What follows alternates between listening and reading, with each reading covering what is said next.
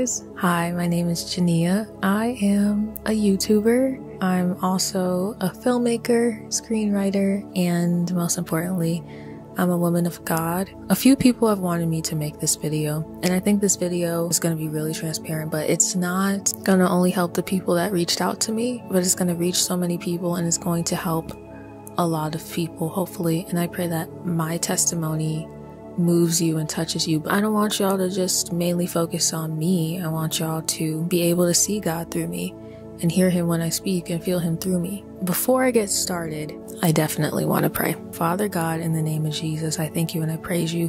Thank you, God, for being so good. Thank you for being so great. Thank you for being so merciful. Thank you for just dying on the cross, Jesus, and, you know, just forgiving us from all of our sins, and you conquered death. Death is defeated when it comes to you. And we don't serve a God who's dead, but we serve a God who is alive. And Lord, I thank you and I praise you. Thank you for saving me. Thank you for setting me free and delivering me from all of these bad habits like porn watching pornography and self-pleasure stuff and masturbation and i pray that every single individual who is watching this who has probably dealt with this or is dealing with this now is able to get saved set free and delivered devil we bind you up in your network of demons and we cast you out. You won't have your way and you won't interfere. And let every single person who is watching this be able to hear you through me, feel you through me, and see you through me, Lord. In Jesus' name I pray. Let your Holy Spirit flow in the atmosphere and have your way. In Jesus' name I pray, and it is so, and so shall it be. Amen. This video is probably part two of my testimony or an extension of it. I dropped my testimony video in August of 2021 I've definitely seen how much I've grown just as a person and also in the spiritual. I'm a sinner who has been saved because of God's grace. God is so gracious. He's been gracious to me and he's going to be gracious to you. But something that we shouldn't do is we shouldn't abuse God's grace. Right now, we're living in the grace period, but we shouldn't test God or mock Him. And we shouldn't be thinking that we're in the position to say, you know, I can sin and do whatever I want. And I know that later on you're going to forgive me. Because the Bible talks about how God chooses to forgive us and cast our sins into the sea of forgetfulness. He doesn't call us by our sin, but He calls us by our name. Somebody so loving and so perfect calls us by our name I did a lot of research and I've written down a lot of notes. So, God, please let me go about this video in decency and order and let me be able to help the people watching this. In Jesus' name, amen. If you've seen my testimony video, in a little part of it, I did talk about how I pretty much watched porn a lot growing up. It was something that I was introduced to when I was really, really young. Um, and it didn't start becoming like an addiction or something that I would end up watching every day until I got older. When you're a child, of course, there are moments of discovery or moments of curiosity, right? That's natural, like to be curious about. When it becomes something where you feel like you can't live without it, it becomes a false god and an idol. And it also becomes like an addiction in a way. Anything could be an idol. And there could be so many different types of addictions. But I believe that there's a lot of people who are watching this who have probably realized that they're addicted to porn and self pleasure and masturbation and everything like that, and are actually saying, you know what, I need to stop. But I don't know how. As I got older, started approaching my late teen years, that's when I started to watch it more and more. The crazy and unfortunate thing is that this stuff, like porn or corn, whatever people call it, it's not just on certain websites, if you know what websites I'm talking about. It's on social media as well. Like you could see it on probably Pinterest, you could see it on Instagram. I don't have Facebook, it might be on Facebook. There's also probably like video games, like it's in movies. It's almost pretty much everywhere, unfortunately. And it's part of whose agenda? Satan's agenda. I think I first saw it on social media, like when I was really younger, like on YouTube or whatever. As I got older, middle to late teen years, I started, you know, seeing it on certain accounts and pages online. I saw it a lot on social media.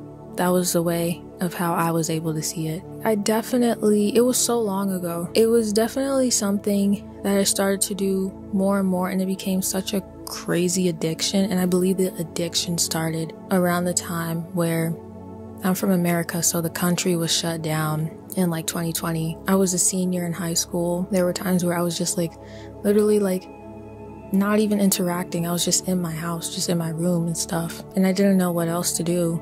And there were times where I was feeling lonely. And there were times where I was feeling bored. I was like, oh, okay, well, I'm bored, so I don't know what else to do. Let me isolate myself. And I was satisfying my flesh. And mind you, this is in a span of like months. But there were times here and there where after I did what I was doing, I felt guilty.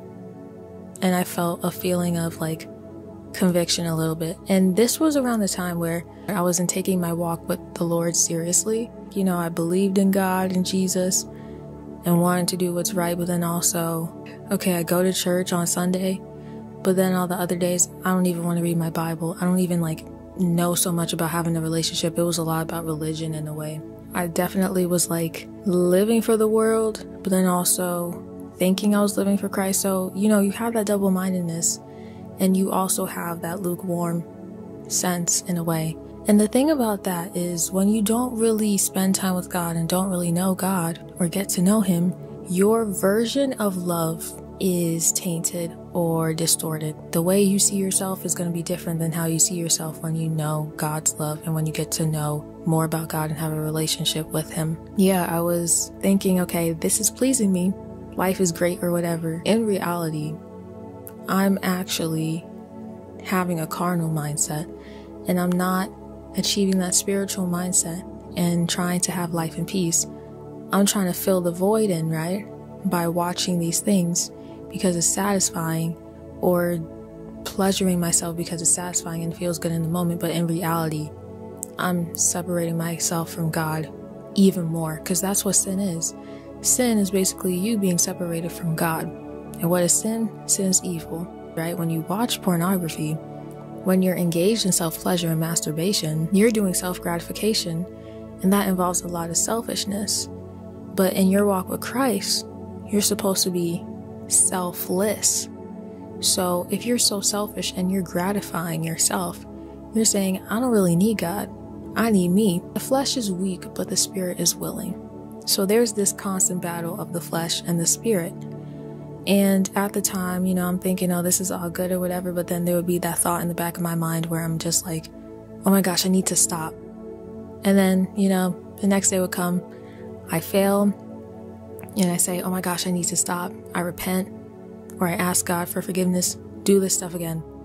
And then I fail, and then I ask God for forgiveness, and then I do it all over again. And it's like a cycle, and it's like a cycle, and a cycle over and over and over again.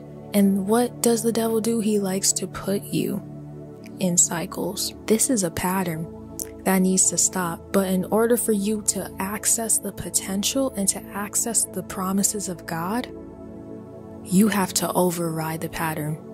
Override the pattern to access the potential, and then you'll understand God's promise. Override the pattern to access the potential, and then you'll understand and learn more about God's promise. And I was doing it for months and months and months. And then it got a time where the conviction just fell even deeper. I started to feel even more conviction. The more I would do it, then sometimes I would feel even more worse and sorry.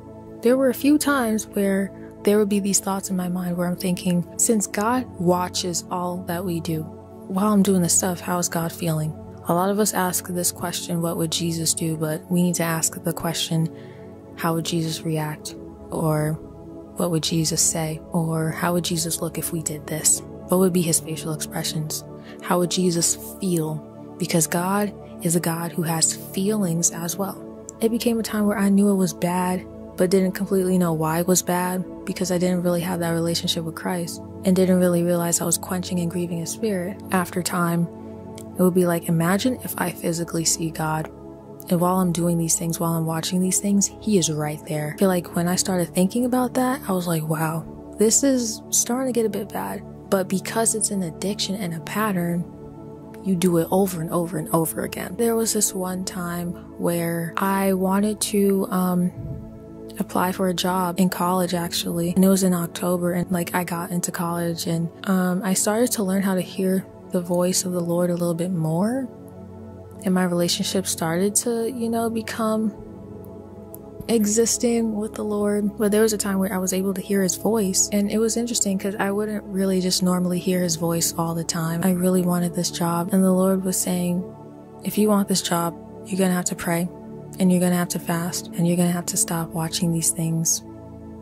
and not masturbate and not do self pleasure. And he told me the specifics when it came to like the fasting and what he wanted me to do and everything. The sacrifice, it was it was hard. So I'm to have to really kill and deny my flesh. And I'm to have to actually try to have a spiritual mindset and take up my cross and carry it or die daily.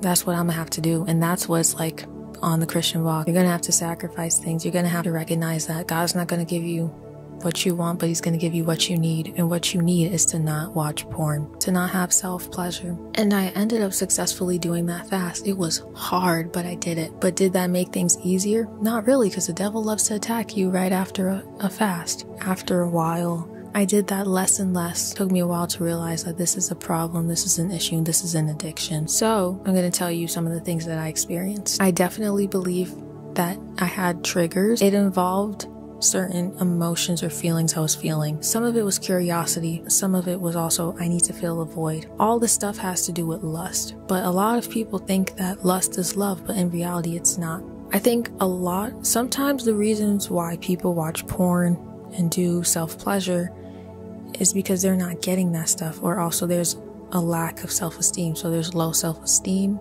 feelings of loneliness. And I didn't really love myself back then. Like, I didn't really have self love. And I'm not going to sit here and say self love is the best love because God's love is. But back then, I had a lot of feelings of loneliness. I experienced a lot of boredom. And my way of coping with reality and being in isolation was to watch these things because it was entertaining, to watch these things because it would fill the void, to watch these things because it was fulfilling to me. It felt self gratifying. But then you get terrible headaches. And what else comes with that? Demonic attacks. The demons are involved when you watch these things.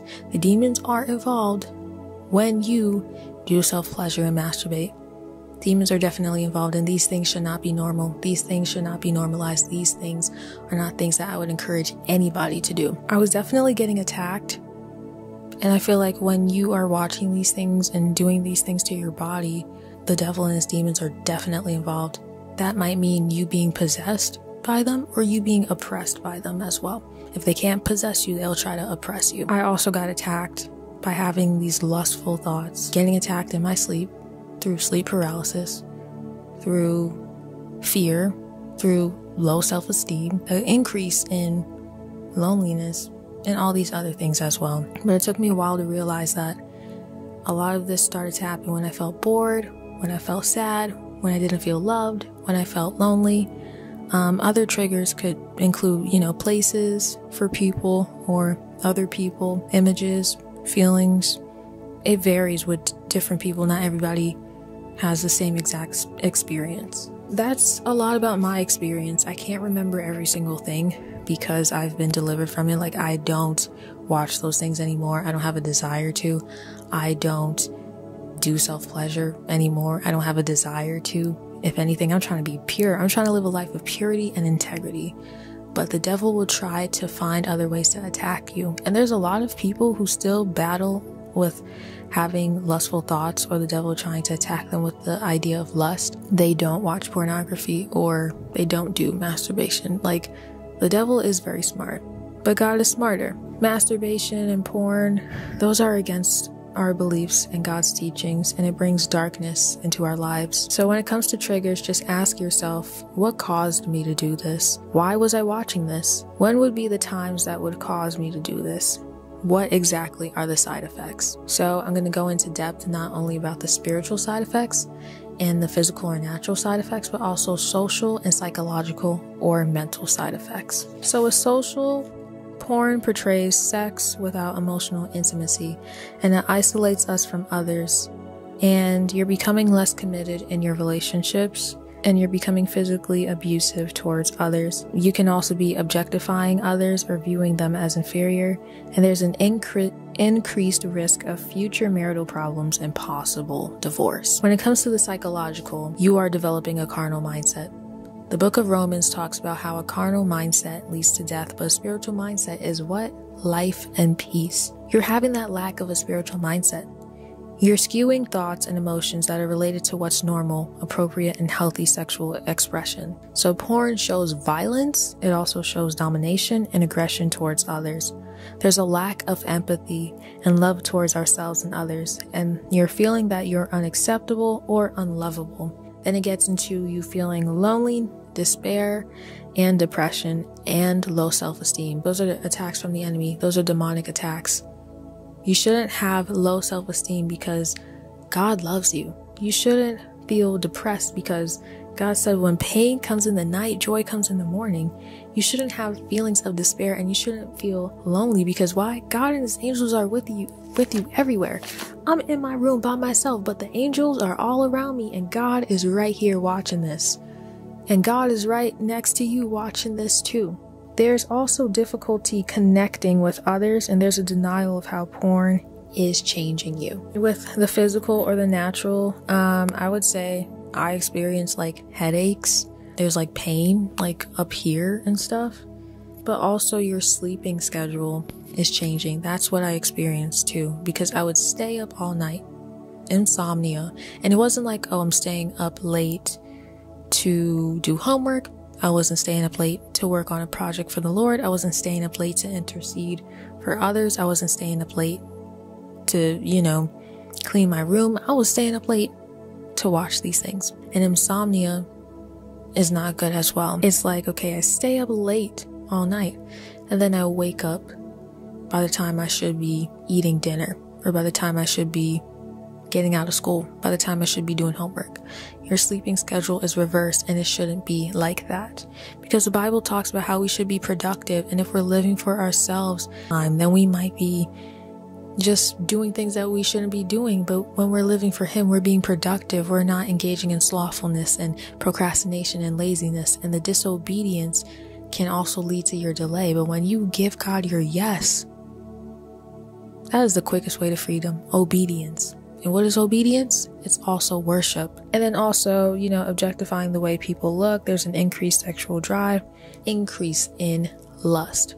But I think if you could beat lust, you could beat anything. You're more than a conqueror. If you could beat lust, if you could beat pornography, if you can beat sexual self gratification, if you could beat self pleasure, if you could beat masturbation, you could beat anything. I know you can. I know you can break generational curses because this is something that can be a generational curse that can pass on from family to family member to family member to family member, but you can break the curse. Don't let it get in your bloodline. And when it comes to the spiritual, like I said, there's a lack of a spiritual mindset. You're not having life and peace. You're trying to fill the void with everything that's not Jesus. And you're just existing. You're not even living. You're just walking around thinking that you're living because you're alive, but you're not even living. Spiritual, you're not having a spiritual mindset, but you're also having a carnal mindset.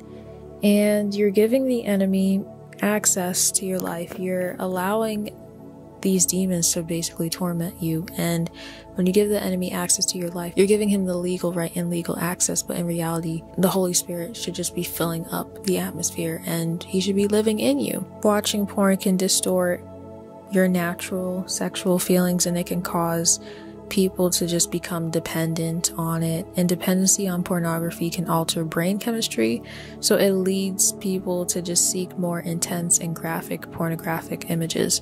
So it can alter your thinking, and the brain can heal itself through neuroplasticity neuro- neuroplasticity, but pornographic images and stimulation lodged in our memory can remain troublesome for long periods of time. Not everybody has a photographic memory. There are a lot of people who have short term memories, but the fact that you can watch something for so long and it can stay on your mind for a long time is just crazy. And when it comes to struggles, people struggle with emotional stress, sexual dysfunction, day to day tasks, including school, work, family, and life. I know when I was watching that stuff and doing like self pleasure stuff, um, I wasn't as focused on school. I wasn't really reaching out to a lot of people. I was in isolation because I wanted to be. God wants you to not be in isolation, Sometimes He'll call you into a season of separation, but I think with God, He wants you to fellowship with other people and there's community. God can call you into a season of separation or isolation um, for His good and to give Him glory. But this is not giving Him glory at all. So it's from the enemy. And these are basically ways it can affect you. When it comes to daily masturbation, it leads to weakness, fatigue, early ejaculation, and it can cause nutrition deficiencies.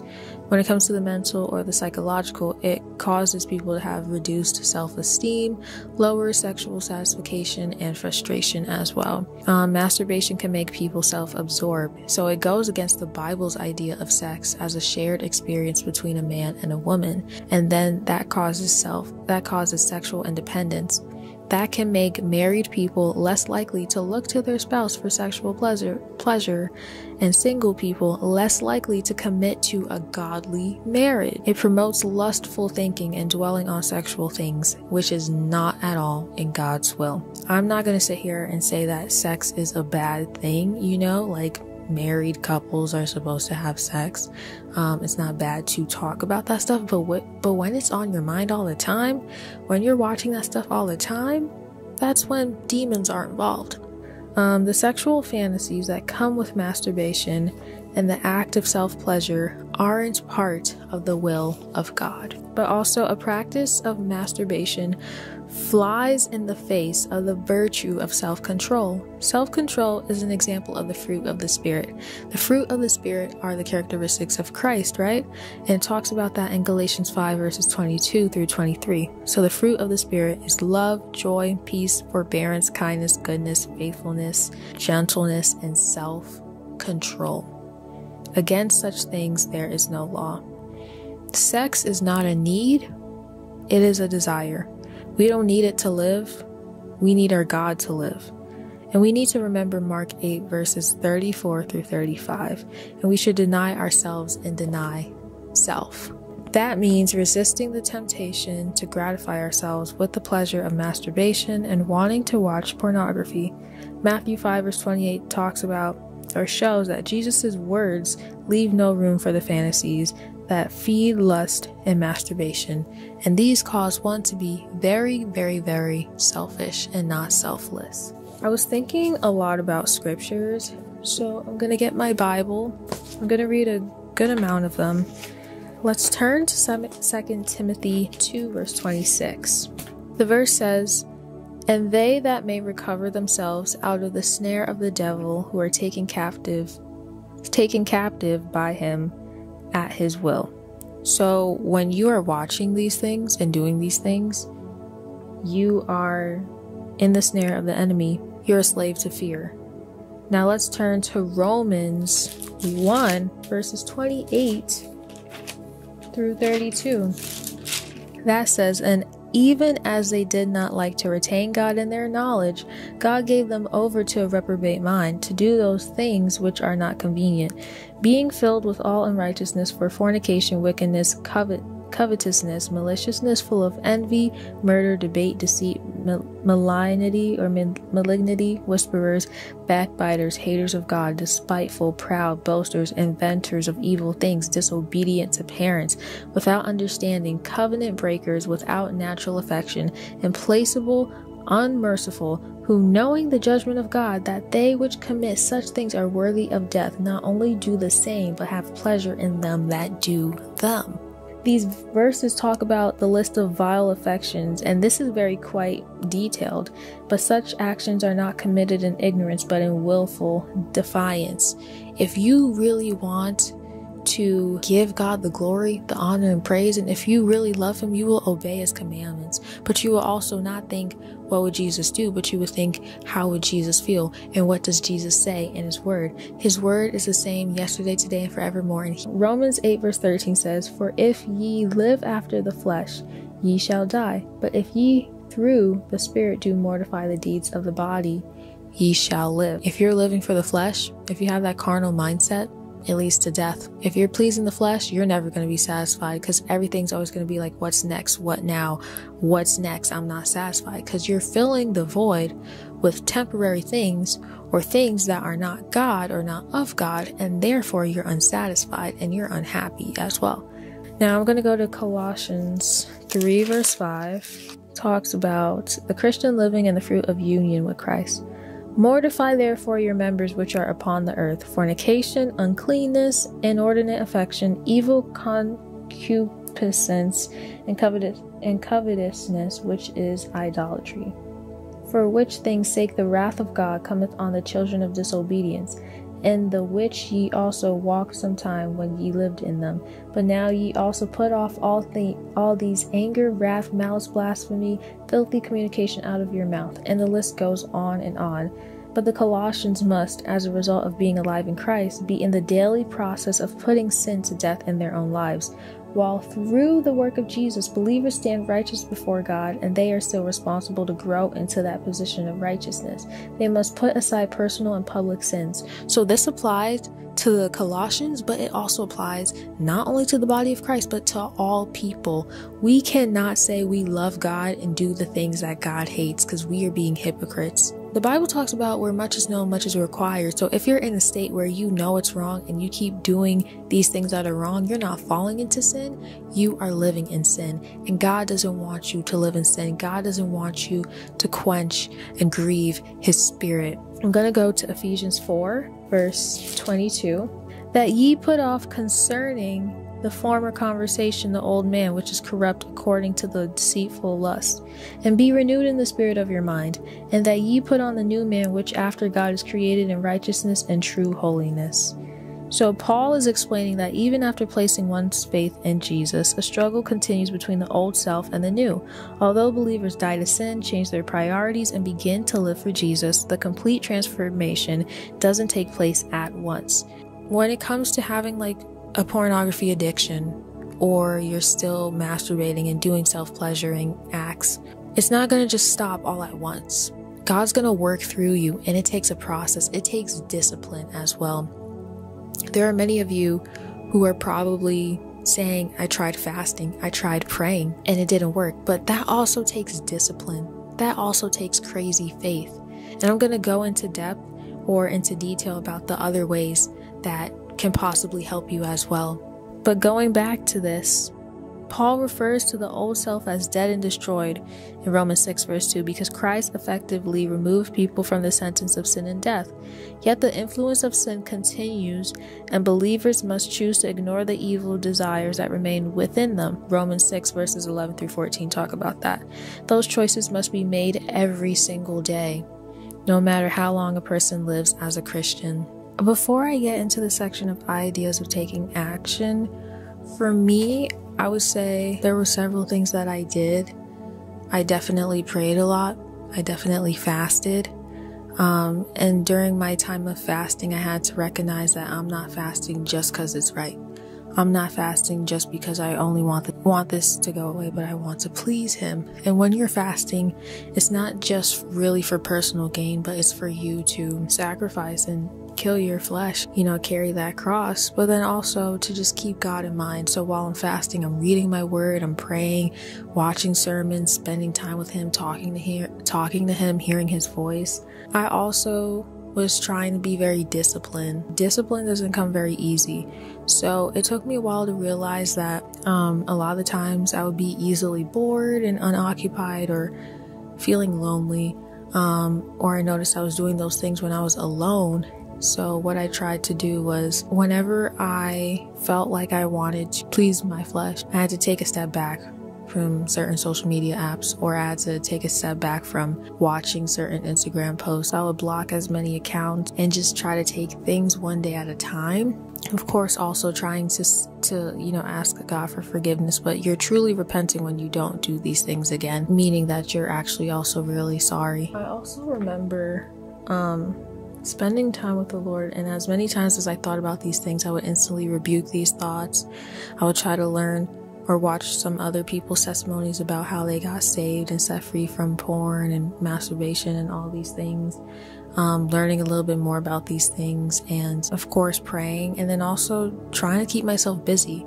If I'm focused so much on a task, I'm going to be locked in and I'm not going to think about these things. So I noticed that I was very, when I would be bored, I would watch and do these things. So instead, while I feel bored, let me keeping my hands busy until the point where I would take this and do this little by little but um, also just keeping myself busy to the point where I don't like this stuff. And also just spending time and reading God's word and just seeing what's in his will and what's not in his will as well. Little by little, I started to develop a disgust and a dislike for the things God disliked, and I just didn't like watching these things and doing these things. And I started to notice like the attacks that I would have. And so um, I didn't want to keep on having these attacks. I didn't want to keep on having these dreams. So I kept praying and I kept fasting and I kept being disciplined and I kept trying to like be busy and spend as much time in my word and just also fill myself up with the word. And I noticed that a lot of the time when I would be alone when I was younger, I would feel very lonely, but now I can be alone and not really feel lonely. And of course, you know, there are times here and there where I may feel like lonely, but I know God's love. And I think learning more about God's love and learning more about yourself can help you deal with these things as well. Those are just some of the ways I was able to stop this. And of course, with me, um, the Lord worked a lot on me and know that you don't always have to go to another person to deliver you. God can deliver you as well. But sometimes it might take a process. Sometimes the demons or whatever spirits are oppressing or possessing you instantly come out like this. And other times it takes a while. But when it comes to ideas for taking action, learn more about the physical, psychological, social, and spiritual effects of porn and masturbation by reading a bunch of articles. Confront denial Commit to honesty at all costs. Don't be in denial that you are addicted to these things. I think one of the first steps is to actually admit that you're addicted to these things and that it's a struggle and it's an issue and it's not normal and you need to do something about it. Sexual addiction is not just a moral problem, but it's a brain problem as well. And dopamine is released in our brains when we view porn or act out sexually. It must be transformed by the we must be transformed by the renewing of our minds and we must find healing for our wounds. Access the wound that makes you return to unhealthy addictions. Ask, where have I been wounded and how do these wounds affect me today? Identify your wounds. Identify your hurt. Get to the root. Allow yourself to process the pain and then you can find healing. There's nothing wrong with processing pain. There's nothing wrong with because we have emotions, but at some point you're going to have to heal and just find the root, find the root cause. It takes time to find out what the root cause is because a lot of people get exposed to this when they're so young. Know your triggers, know your feelings, get to the root and try to fix these things. You can't just say, Oh, I'm just going to stop sinning, and you don't know what the root is because a lot of sin has to do with these wounds and these roots. So get to the root, identify your wounds. And then you can practice preventative accountability. So just look at the circumstances around you and identify stressors, which include marriage, work, and finances. Look for the triggers and then choose to stay in the and then choose to stay in the pain and process it without others rather than trying to numb it with porn or other addictions. Just be watchful when you are lonely, angry, and tired, because those could be triggers as well. You can have an accountability group, have an accountability partner, um, and be relational with your pain. Process ways you can respond better together. The first step in the journey of walking in integrity and purity is to trust the only one who can conquer sin. Get away from your phone or other devices where you have access to this. Block certain accounts, do things that keep you busy. Don't sleep with your phone. Do something with your hands. Try to retrain your brain to enjoy life and being without technology. Start reading God's Word. Pray rebuke negative thoughts, educate yourself about the exploitative nature of porn industry. Don't feel like you want to stop it, feel as though there is a need to stop it. Become more social and less bored. Spend time figuring out what your purpose is. Be mindful of also what's going into your ear gates and eye gates as well. And like I said before, praying and fasting, but there's more depth to this because praying and fasting is only like, God, please stop this problem, or God, I'm asking you for this, and then I'm fasting for this for a certain amount of days, and I'm not going to eat food or do this and that, and that's it. Like, it's not just a, it's not really about personal gain. Um, it's about the Lord and your sacrificing um, and the book of the other day, I was actually reading this. I'm going to go to the book of Isaiah 58 verses 3 through 5. Cry aloud, spare not, lift up thy voice like a trumpet, and show my people their transgression, and the house of Jacob their sins. Yet they seek me daily and delight to know my ways as a nation that did righteousness, and forsook not the ordinance of their God. They ask, of me the ordinances of justice. They take delight in approaching to God. Wherefore have ye fasted, say they, and thou seest not? Wherefore have we afflicted our soul, and thou takest no knowledge? Behold, in the day of your fast ye find pleasure, and, ex- and exact all your labors. Behold, ye fast for strife and debate, and to smite with the fist of wickedness. Ye shall not fast as ye do this day, to make your voice to be heard on high. Is it such a fast that I have chosen a day for a man to afflict his soul? Is it to bow down his head as a bulrush and to spread sackcloth and ashes under him? Wilt thou call this a fast and accept and, and an acceptable day to the Lord? Is not this the fast that I have chosen, to loose the bands of wickedness, to undo the heavy burdens, and to let the oppressed go free, and that ye break every yoke?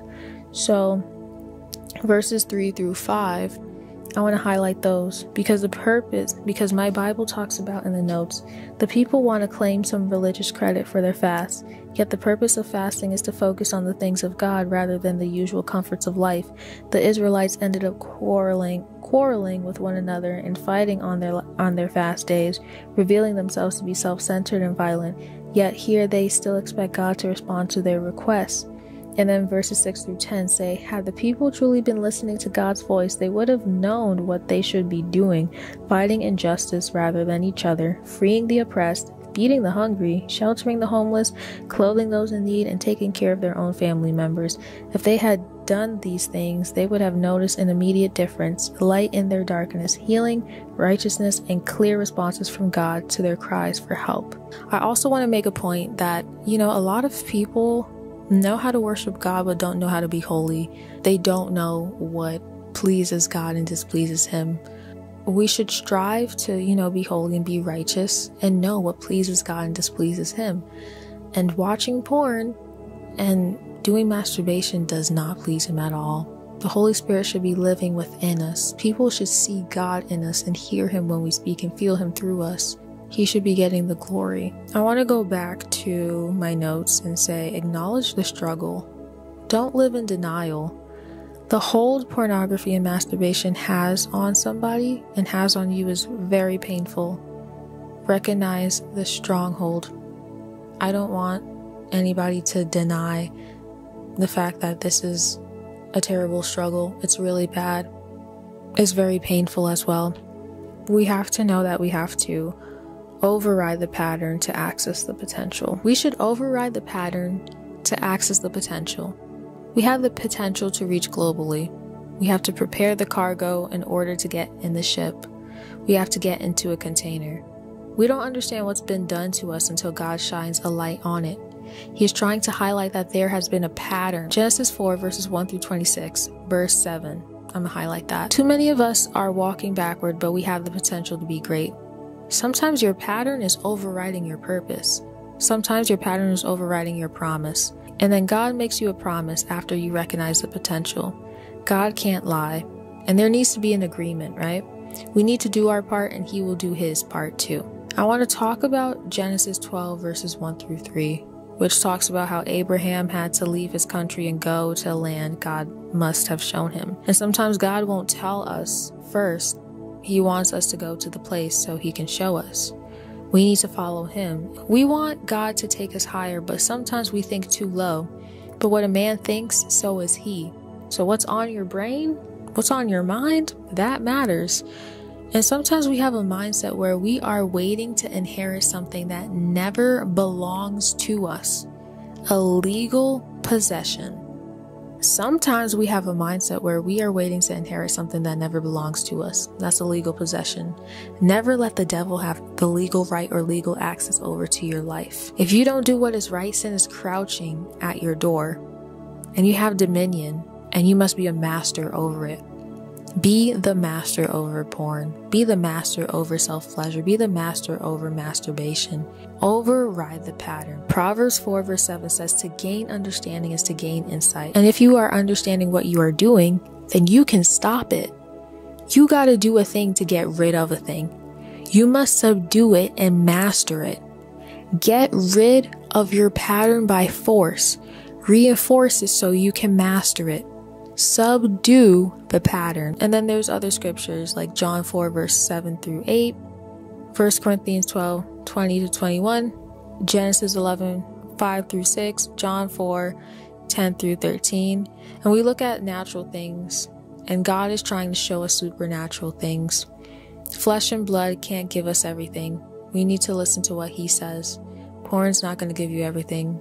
Self pleasure and masturbation aren't going to give you everything. And some of us are too focused on the buckets rather than the living water. Look to God, don't look to man.